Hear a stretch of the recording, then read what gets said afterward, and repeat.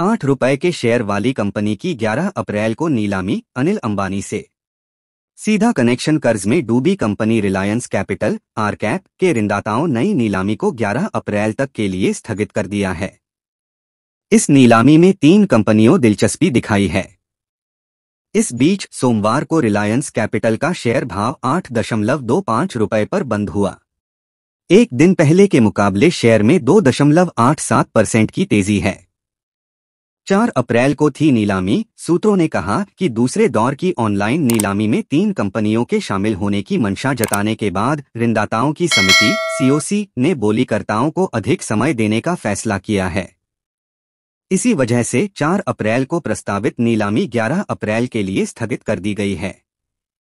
नए दौर की नीलामी के लिए सीओसी ने शुद्ध वर्तमान मूल्य पर 9,500 करोड़ रुपए का आधार मूल्य तय किया है।